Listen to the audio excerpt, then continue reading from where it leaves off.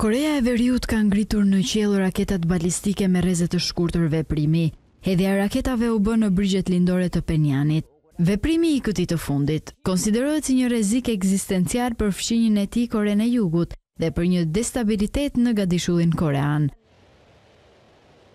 Raportet për lëshimin e raketave balistike erdhën pasi Koreja e Jugut tha se oficeri i saj i lartë ushtarak kishte pritur komandantin e Komandës Hapësinore të Shteteve të Bashkuara të Amerikës, gjeneral Stephen Whiting, për të diskutuar zhvillimin e satelitit zbulues të veriut dhe bashkëpunimin ushtarak midis Penianit dhe Moskës. Qeveria japoneze është vënë në gatishmëri pas alarmit se Peniani ka lëshuar raketat balistike, pasi ajo ka rënë shumë afër zonës ekonomike ekzistuese të Japonisë.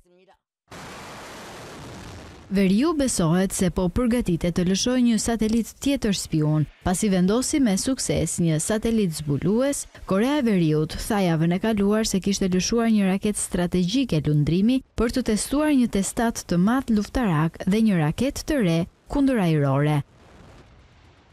Korea e Veriut ka kundërshtuar rezolutën e Këshillit të Sigurimit të Kombeve të Bashkuara, të cilat ndalojnë zhvillimin e raketave balistike, duke i hedhur poshtë ato si shkelje të së drejtës së tij sovrane për t'u mbrojtur, sakaq Rusia muajin e kaluar vuri veton ndaj rinovimit vjetor të monitorimit të sanksioneve të vendosura kundër Koresë së Veriut, duke bërë që zyrtarët e Shteteve të Bashkuara të Amerikës dhe të Koresë së Jugut të akuzojnë Moskën për mbështetje ndaj Penianit. Kina abstenoi nga votimi i Këshillit të Sigurimit.